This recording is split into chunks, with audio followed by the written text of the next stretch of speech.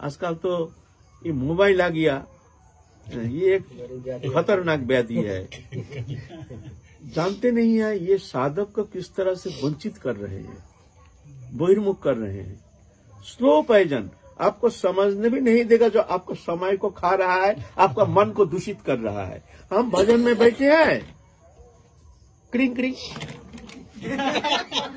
Hello मन थोड़ा लग ऐसा तो लगता नहीं है लगाने की कोशिश कर रहे हैं। अब भजन के समय बम्बई से खबर आ गया। अब उनसे हाँ हाँ, हाँ बोलिए सेठ जी। हाँ आप ठीक है ना? लो। लो।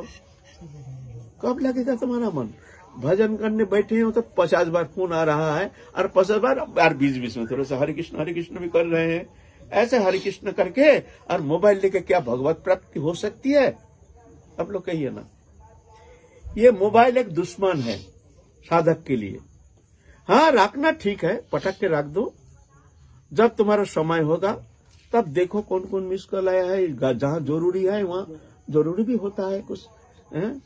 ऐसे संपर्क में हम तो ऐसे नहीं, जंगल में बैठे नहीं है, हैं? जंगली, जंगल के जीवन है नहीं, है? हम तो रहते हैं, गाँव में और शहर में कहीं रहते हैं? उसके बाद जितना प्रयोजन है, उतना संक्षेप में बात करके रख दो और भजन के समय विशेष करके एकदम स्विच ऑफ़ करके रख दो। जब हम तीन घंटा भजन करेंगे, तीन घंटा हम भगवत चरण में अपने आप को बेच रहे हैं बेच दिया। दो घंटा भजन करेंगे। अरे बाईस घंटा तो हमने संसार के लिए दे रहे हैं। अरे दो घंटा भी तुम भगवान के लिए नहीं दे पाओगे। और तुम भगवत प्राप्ति करना चाहते हो।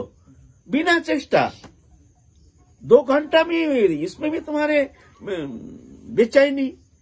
कोई रो रहा है कोई पुकार रहा है घर में कुछ बातचीत हो रहा है उसमें भी आप इन्वॉल्व हो रहे हैं आखिर में बैठे बैठे उसको जवाब भी दे रहे हैं ऐसा करो ऐसा करो ऐसा करो। जब भजन में बैठे हैं ऐसे संकल्प करो जगत में कोई नहीं है सब मर गया है। ना हम किसी का ना कोई हमारा। हम ठाकुर जी के हैं ठाकुर जी हमारे हैं ऐसे जान करके भजन करना पड़ेगा। हाँ, तब जा करके धीरे धीरे धीरे धीरे साधक आगे बढ़ सकता है। नहीं तो ऐसे मोबाइल फोबाइल यूज़ करके सारा दिन बैठे बैठे ये देख रहे हैं क्या क्या चैनल फैनल देख रहे हैं मन नहीं लग रहा। अरे मन नहीं लग रहा तो ग्रंथ लेके बैठो भगवत लेके बैठो हाँ, या माला लेके बैठो मत लग तुम ये चैनल देख रहे हो।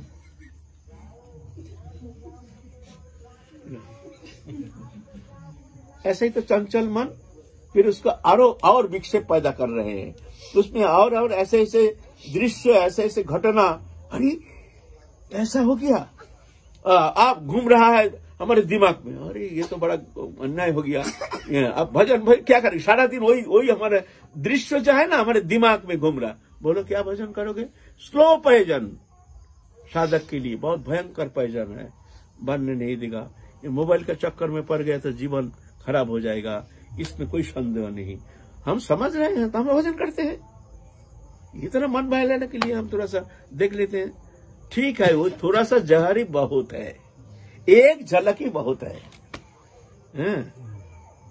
ऐसा है।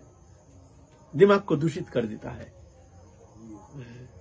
इसीलिए बहुत सोच समझ के साधक को ये मोबाइल के संपर्क में जाना चाहिए। और टीवी तो देखना ही नहीं चाहिए साधक के लिए जो इसी जन्म में भगवत प्राप्ति करना चाहते हैं। जय राधे।